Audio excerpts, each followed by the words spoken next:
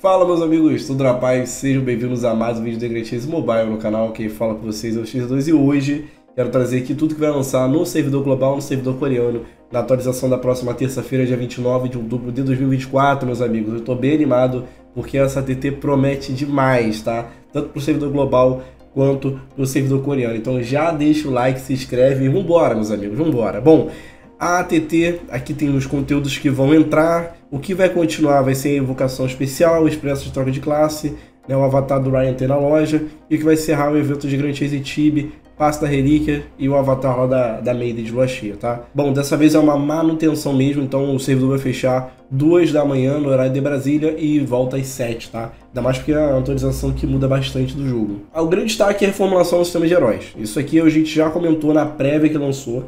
A diferença dessa, desse patch note para prévia é que aqui a gente tem print das coisas, né? Tem a telinha do, do, dos itens, das mudanças, dos sistemas. Mas tudo que foi dito aqui, eu já disse em outro vídeo, então eu vou poupar tempo. Quem quiser, vou deixar aqui no card para vocês conferirem listado como é que vai ser essa mudança. E quem sabe na, na atualização em si a gente mostra na prática, né? O que mudou exatamente. Mas, de toda forma, é uma atualização muito esperada. Vai ser bem legal, vai dar uma boa mexida no jogo. Deixar ele também mais interessante na minha visão. É, é o que eu tô mais hypado para ver no momento, tá? Mas aqui no final do, do patch, dessa parte sobre a, a troca aqui de, de reformulação dos heróis, tem um pouquinho mais de informações sobre outras coisas do jogo, né? Que vão ser adicionadas. Por exemplo, é, vai dar para você configurar a, a, formação do grupo na Fornalha Infernal, vai ter uma aba de classe T no inventário de herói, também no inventário de mascote, vai ser encerrada a temporada de PVP e a adição de alguns lobbies aqui, né? Bem interessante. Bom, sobre evento, cara, esse aqui é um evento sensacional. Vai ter um evento de presença especial de 14 dias.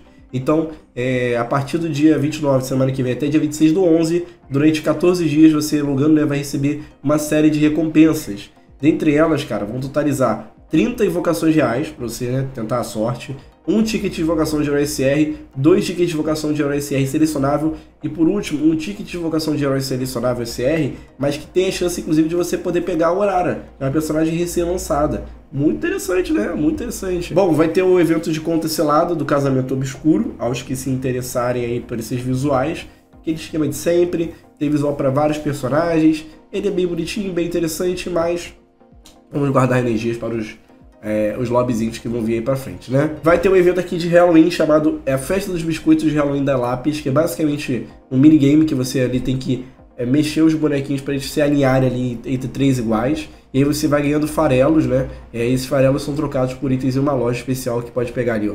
Cubo de crescimento, fragmento de graça perdida, benção da bravura, graça das três deusas de Ernas ou ouro, beleza? E bom, teremos o evento de avanço no martelo de Ernasses, dando aquela moral aos jogadores para conseguir mais materiais do martelinho, né? Bom, no servidor coreano temos aqui o lançamento da HMXT. Sendo bem sincero, achei o visual da classe base dela meio sem graça.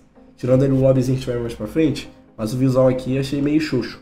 Eu acho a HM de base mais interessante. Não sei, pode ser opinião minha, loucura, enfim. Ela vai ser adicionada com todas as coisas de praxe quando vier no servidor global. A gente comenta mais a fundo aqui a skin dela, né? É de lua cheia, se não me engano o nome é essa, né? É lua cheia. Ah, além disso, vai ter o evento de história dela, que é o lobby. O lobby eu já achei mais bonito, achei mais interessante.